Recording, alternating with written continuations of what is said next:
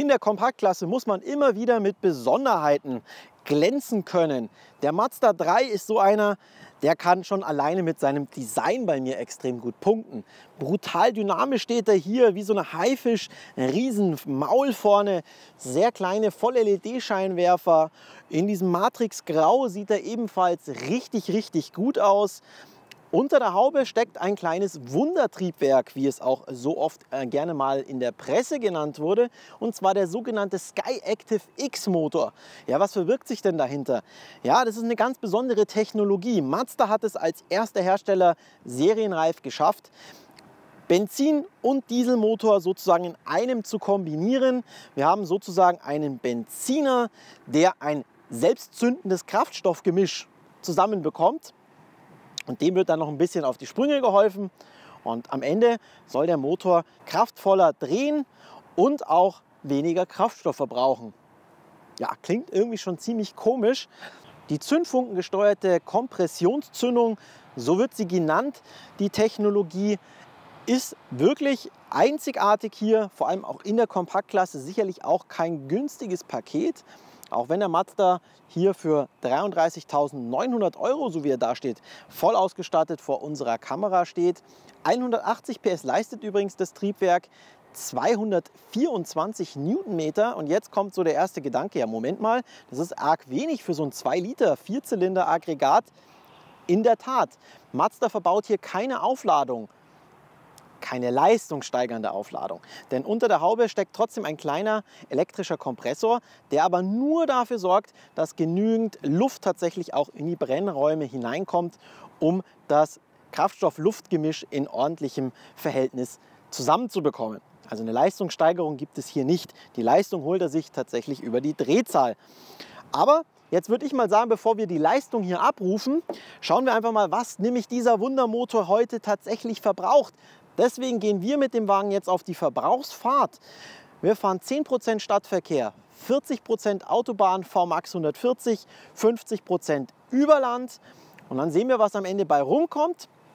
Solltet ihr den Kanal noch nicht abonniert habt, ist jetzt dafür genügend Zeit, bis ich mich auf den Weg mache hier zur Tankstelle und den Wagen schon mal voll zu tanken.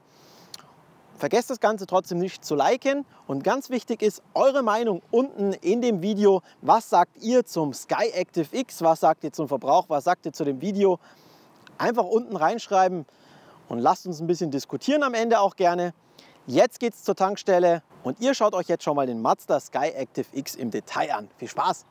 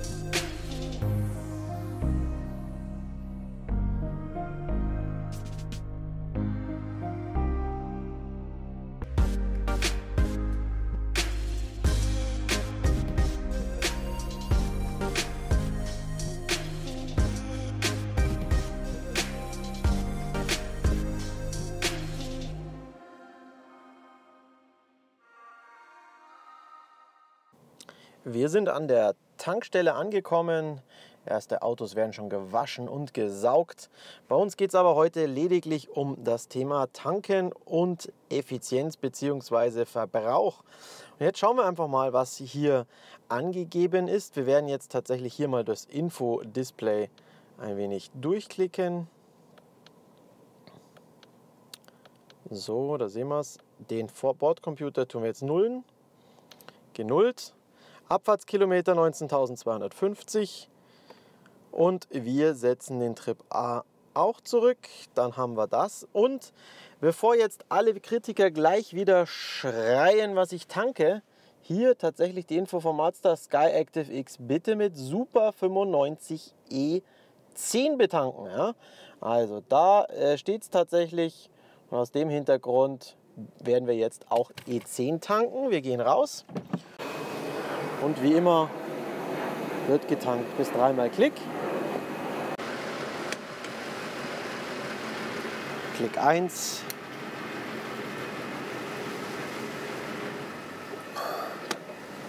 Zwei. Klick 3.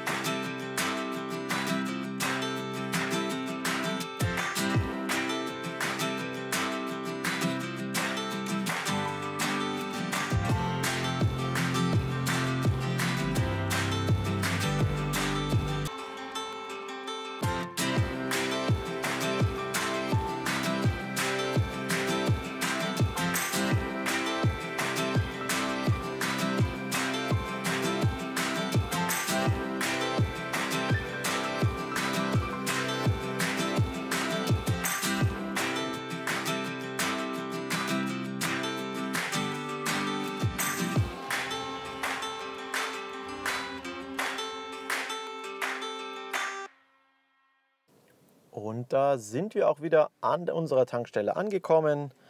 Schauen wir gleich hier in den Bordcomputer hinein. 5,6 Liter haben wir verbraucht, 19.365 ist jetzt der Kilometerstand. Wenn wir dann durchgehen, dann sehen wir 114,7 Kilometer sind wir gefahren. Heißt, jetzt geht es raus zum Tanken und wir schauen, was in die Tankmenge hineinläuft. Damals schon zwei, drei. So. Zack. Wieder einhängen. Zudrehen. Klappe zu und check. So. Ich gehe mal wieder zahlen und wir sehen uns gleich zum Fazit. Angekommen hier mit dem Mazda 3 Skyactiv XM Hybrid. Ein richtig tolles Triebwerk, was Mazda hier unter die Haube gelegt hat. Ähm, jetzt kommt die große Frage, ist es tatsächlich ein Wunder beim Verbrauch? Schauen wir auf die Verbrauchschart. 5,8 Liter ist der zertifizierte WLTP-Wert, den Mazda angibt.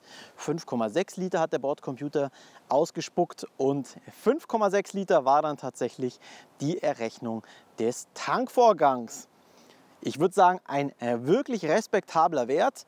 Das schaffen moderne Diesel gerade so. Wir fahren aber hier einen Benziner.